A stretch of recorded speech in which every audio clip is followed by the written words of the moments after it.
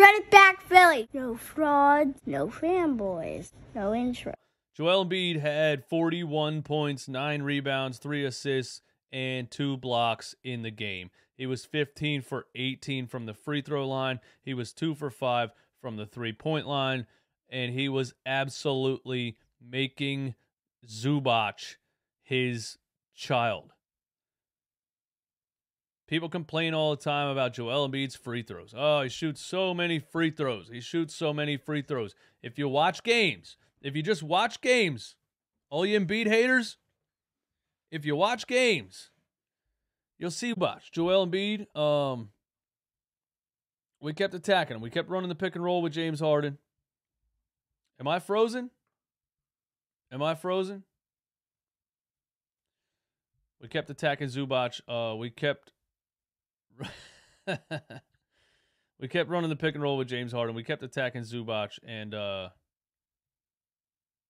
you know we took advantage of their weaknesses.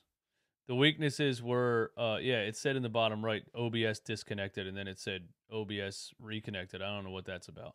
Um, yeah, we took advantage of the mismatches. We were attacking Zubac all night long with Joel Embiid. I thought in crunch time, when a lot of these games, it turns into, you know, us, uh, the Sixers standing around – trying to run the pick and roll against a zone. Uh, it turns into a stagnant offense, and then we end up with Joel Embiid just hanging out at the three point line trying to create offense for the whole team, and, and it and it, it doesn't work out that well because he's not Kevin Durant, he's Joel Embiid, he's a center. Uh, I watched the Clippers switch to a zone like I knew they were going to. And I said, if the clip when the Clippers, when they switch to a zone to try to stop the Joel Embiid James Harden pick and roll, how do we counter the counter? And a couple of times we had we struggled against that zone in, in the fourth. And then all of a sudden we started stuffing Joel Embiid under the rim. There's only two ways to break a zone. Hit threes or get under the get under the rim. Get get under the rim. Straight up get Joel Embiid under the rim. So we start forcing Joel Embiid under the rim. And then you know the rest of the game we're we're spamming the Joel Embiid, James Harden pick and roll, and they can't stop it because James is such a good, uh, he's so good at passing the basketball, and Joel getting a full head of steam running right at uh, Ivica Zubac. Uh, he's either going to the foul line or he's scoring. So Joel had 41. Uh, he had 27 in the first half. You know, we thought he was going for 50. Uh, but another another just phenomenal performance from Joel Embiid on both sides of the floor.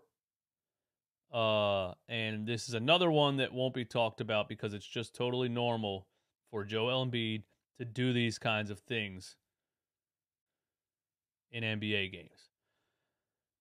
Uh, a 41 perform a 41 point performance is totally normal for Joel Embiid if Anthony Davis scores 41, ESPN has a circle jerk for about a week.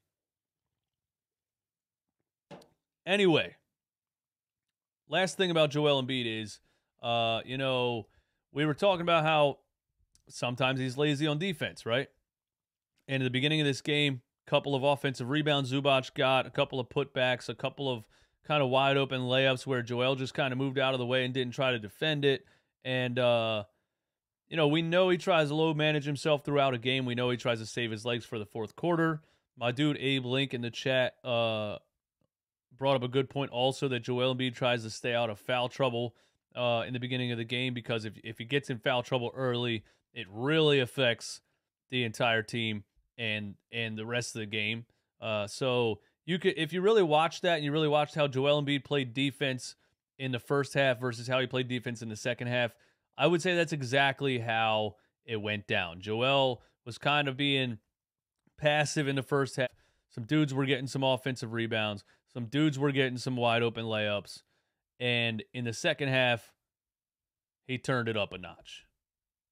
Um, Terance Mann had a had a layup over Joel Embiid in the first quarter, maybe the second quarter, somewhere in the first half. There was a layup over Joel Embiid. And I said, Joel didn't even try to defend that. Joel just kind of moved out of the way. He didn't even try to defend that layup. What, what you know, what's going on here? Joel's getting shredded.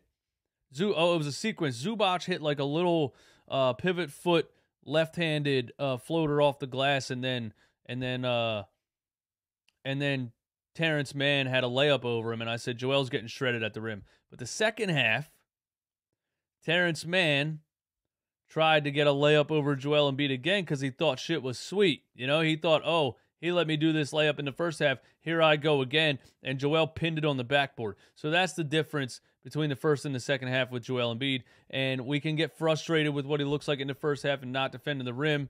Uh, but he really tries to save himself for the fourth. And I think in this game, you could clearly see that that's what he did. I think in this game, you could clearly see that that's what he did. James Harden. Only had six points in this game. Six points, one of six from the field, 0 of 4 from three. He made one field goal in this game, but he had nine assists. Uh, he was controlling the ball when we needed him to control the ball. He was dropping dimes to Joel Embiid when we needed him to drop dimes to Joel Embiid. I think James Harden, you know, you can you can look at that stat line and say, "Wow, James had a horrendous game." But I don't really feel like that was the case. I don't really feel like that was the case. I think watching it back, you might see the Clippers defense paying a lot of attention to James Harden and James doing other things to get the ball out and swing it. You know, he only had nine assists. Uh, he might have had 20 like hockey assists, you know what I mean? The, where he makes the kick out and they swing the ball around and things like that. So I think James Harden was affecting the game offensively in a lot of different ways that don't show up on the stat sheet. I didn't even realize he only had six points in the game until I looked at the stat sheet. You know, uh, I thought James Harden was doing his thing in this game. I guess I just didn't realize that he wasn't scoring because he was doing so many other things um, to impact the game positively and defensively. James Harden's been trying on defense this season, uh, and it's been great. You know, James Harden, who has been slandered most of his career for not trying on defense, has been trying on defense, and it's been great and I love to see it. Uh, there was a, a couple sequences in the fourth quarter where PJ Tucker came back in the game, uh, which I thought Matisse Thybulle was playing good defense on Kawhi Leonard, and then uh, Doc Rivers put PJ Tucker back in the game with five minutes left, which I feared for my life at that point. I said, no way, he just put PJ Tucker back in the game. Kawhi Leonard's about to go off and shred us, and Kawhi was looking for mismatches like he was the whole game, and there's a play that I remember specifically. He set a screen for him so he could get a mismatch on Harden. And Harden, I think, played better defense on Kawhi Leonard than PJ Tucker did. And forced him into a very difficult fadeaway uh, jump shot from the free throw line. So shout out to James Harden for being the game manager that he was in this game.